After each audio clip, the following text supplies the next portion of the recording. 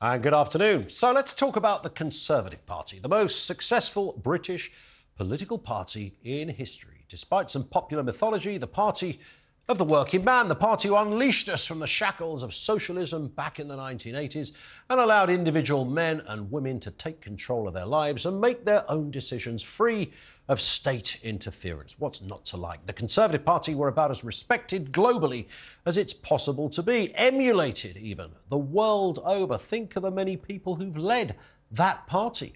Winston Churchill, there's Harold Macmillan, the obvious Margaret Thatcher powerhouses of the political world, people with a solid ideology, leaders with a big idea.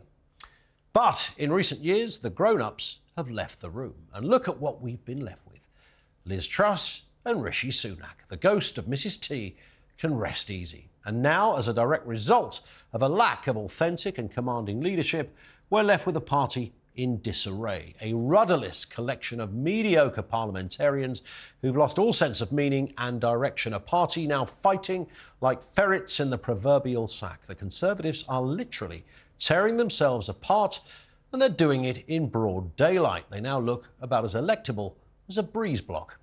And yesterday, former Home Secretary singing like a canary about how bad her own party is in her speech to the House of Commons. They don't even care who knows.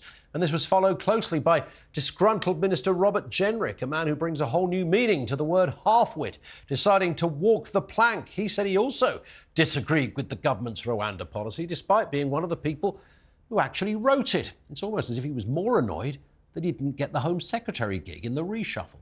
So we have the new Conservatives, the One Nation Conservatives, the Progressives, the Traditionalists. The list goes on, and they all hate each other. The scrapping and the infighting is now so intense, I'm surprised Frank Warren hasn't been called in. Where did it all go so badly wrong then for the Conservatives? This was a party my nan voted for because she could see hope. She could see change. She knew her life was better under the Tories. She knew it was being run, run by the grown ups. Today, she wouldn't go anywhere near. They've blown it. And as the Tories rip each other to shreds, they're now proving on an almost hourly basis that not only will they spectacularly lose the next election, they actually deserve to. So, with all that in mind, I'm asking this question Could you ever vote Tory again?